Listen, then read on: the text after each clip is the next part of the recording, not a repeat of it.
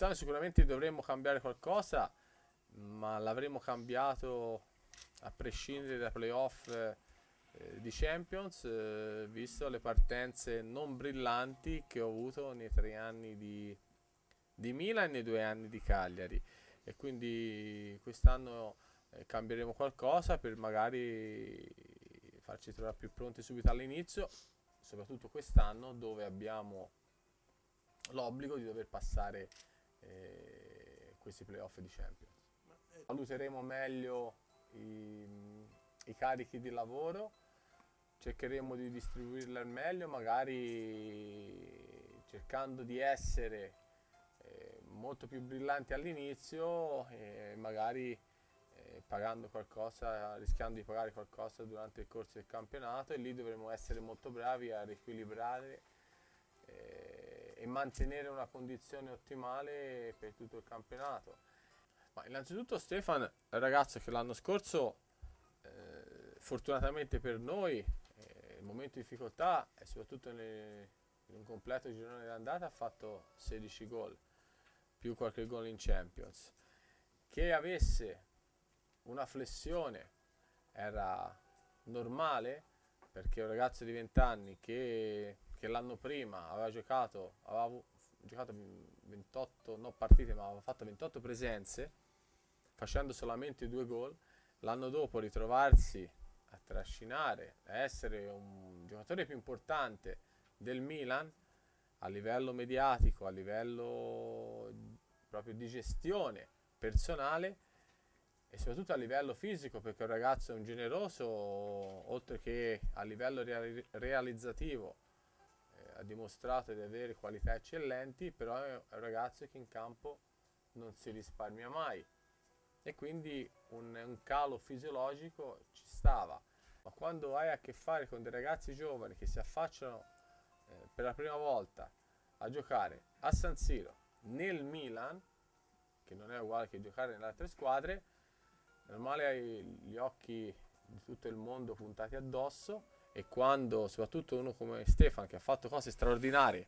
ha un momento di flessione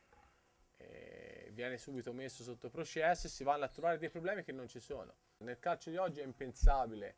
giocare con due, tre punte o diciamo tre giocatori, quattro giocatori offensivi che stanno e guardano la partita. E quindi quello che ha fatto Stefano l'anno scorso eh, per le caratteristiche che ha, è una cosa normale. No, la Juventus quando una squadra vince il campionato eh, credo che è normale che sia così, che rimanga la favorita de, per lo scudetto. È normale che, che, che, hanno vinto per due anni, hanno fatto cose importanti eh, in Italia quest'anno hanno raggiunto anche i quarti di finale in Champions, è una squadra collaudata, una squadra che, che con i numeri ha dimostrato, ne, soprattutto quest'anno, di essere sul campo la più forte, però il 24 agosto riparte il campionato, quindi partiamo con, con fiducia sapendo che per arrivare nei primi tre posti bisogna, bisogna fare grandissime cose, bisogna sicuramente eh, avere questa grande disponibilità al, al sacrificio e a, per cercare soprattutto di mettersi a disposizione i ragazzi l'uno con l'altro come hanno fatto dal 6 gennaio quando siamo ripartiti nei, nei 5 mesi del, del 2013. Eh, la, la, mia priorità era quella di rimanere al Milan e ci sono rimasto molto contento, soprattutto perché io con la società, col presidente con, eh, con l'amministratore credo che abbiamo un rapporto eh, quotidiano, anche troppo da tre anni a questa parte, e anche troppo.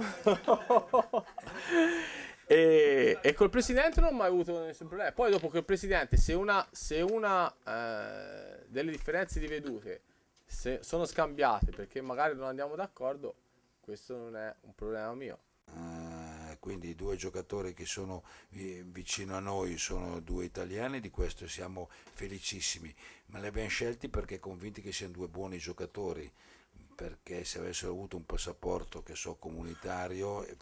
avessero avuto le stesse caratteristiche Tenghe probabilmente avremmo presi, però a livello di tendenza c'è,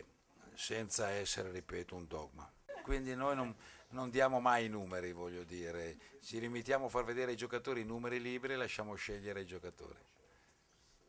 Cosa velocissima per il mister a concludere? Questa è la politica aziendale. No, e quando ci siamo visti col presidente, e con eh, Gagliani a- ad Arcore,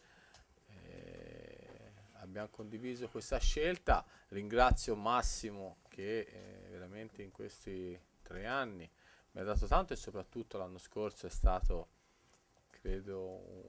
un, eh, un uomo importante oltre che un giocatore dentro lo spogliatoio, soprattutto nei momenti di difficoltà. Le auguro tutte le fortune del mondo, però il, dall'anno scorso quando la società ha deciso di fare una politica diversa e soprattutto di andare verso eh, una squadra molto più giovane, eh, piano piano eh, sono andati in uscita quelli che, eh, i giocatori che avevano una certa età. E quindi a Massimo non altro che, che ringraziarlo e soprattutto gli faccio un grosso in bocca al lupo per, per questa nuova stagione eh, e soprattutto perché si è dimostrato oltre che un grande giocatore un, un grande uomo Eh, per vincere i campionati bisogna essere la miglior difesa e, stati- e le statistiche lo dimostrano noi abbiamo vinto il campionato essendo la miglior difesa e l'Inter quell'anno lì fu il migliore attacco. L'anno dopo noi siamo stati il migliore attacco e la Juventus è stata la miglior difesa. Quest'anno la classifica è prima la Juventus che ha la miglior difesa, secondo il Napoli che ha la miglior difesa, la seconda miglior difesa, terzo il Milan che ha la terza miglior difesa. E per, dare, e per avere grande solidità non bisogna avere, bisogna avere de- degli ottimi difensori, però te puoi avere i quattro difensori più forti del mondo, ma se difendi in 4 in 6 è praticamente impossibile non prendere gol. Il capitano futuro sarà Riccardo Montolivo, è stato, ma è già comparso sui giornali peraltro. Sì, sì, è già comparsa. Abbiati è totalmente d'accordo e quindi l'abbiamo messo anche nella cartellina. Quindi va bene, va bene.